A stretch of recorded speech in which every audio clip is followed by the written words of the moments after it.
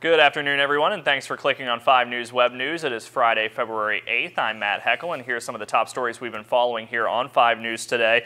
A man police think is connected to three execution-style murders in Marion County almost 40 years ago has finally been caught. According to the Associated Press, 59-year-old Eddie Jack Washington was arrested yesterday without incident all the way in Tampa, Florida. Officers followed Washington from his Tampa home to a grocery store where he was arrested. Washington was taken to the Tampa Police Department for further questioning.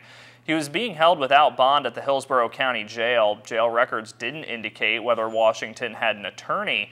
Police in Fairmont issued a murder warrant for his arrest on Wednesday.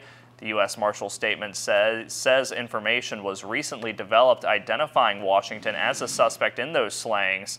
The statement did not elaborate on that. Now, those three murders were committed in the Windmill Park area in August of 1974. Police in Morgantown say they found the suspect in a murder case that's been dragging out for about a year now, and it turns out he was already in jail on other charges. 25-year-old Thomas Williams is charged with the murder of 23-year-old Quentin Bolden.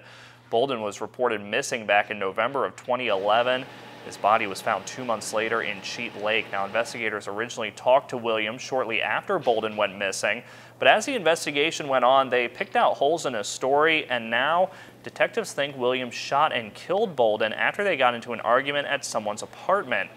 Police had already charged 26-year-old Kevin Jackson for apparently cleaning up at the blood after the murder. He also supposedly knew where the body was but didn't tell police. Williams was already in the North Central Regional Jail on a federal drug conviction. And another man is facing charges this morning after an apparent stabbing in downtown Clarksburg Wednesday night. A little after 7 o'clock, 25-year-old Brian Winder got into an argument with his wife on Pike Street when she supposedly tried to get in a cab to get away from him. Police say that's when Winder stabbed her in the right thigh with a kitchen knife. She was taken to UHC and is expected to be okay. Winder was found on Traders Alley about 10 minutes later. He also had to be taken to the hospital after cutting his own wrist. The Clarksburg Police Department is investigating.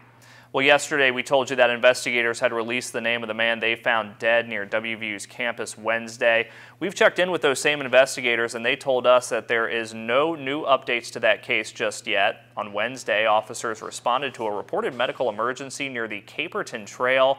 That's behind Stansbury Hall. That's where they found the body of 43-year-old Barry Price.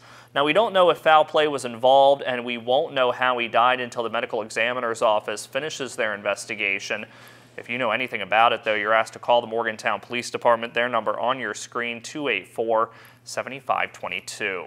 Well, 90 plus packets of bath salts, two cars, and $50,000 in cash. That's what the Harrison County Sheriff's Department Street Crimes and Drug Unit seized during what's being called a huge arrest at a local hotel this week. A lengthy investigation came to a head Wednesday when an undercover officer found Larry T. Gregory II of Shinnston in a local hotel room. Sheriff Albert Marano said the department had been getting some calls about Gregory for some time. When they found him, they arrested him on a capias he had from a prior weapons charge. They then got a search warrant. Now, between the hotel and two cars, they found the drugs, thousands in cash, and a gun. Gregory admitted he had gone to Ohio at least four times to buy bath salts to sell here in the Mountain State. We've received a lot of complaints about this particular subject. Uh, I do consider him a major drug dealer uh, in Harrison County, in the Harrison County area, and I consider this a major bust in Harrison County.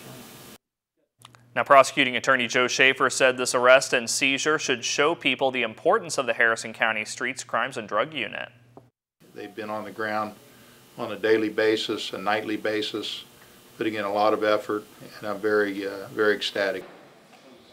Now, in the end, everything seized totaled to about $100,000. And let's take a quick look at what our newsroom's working on for tonight. First up, a new study on baby boomers show they're unhealthier than their parents. We asked experts why.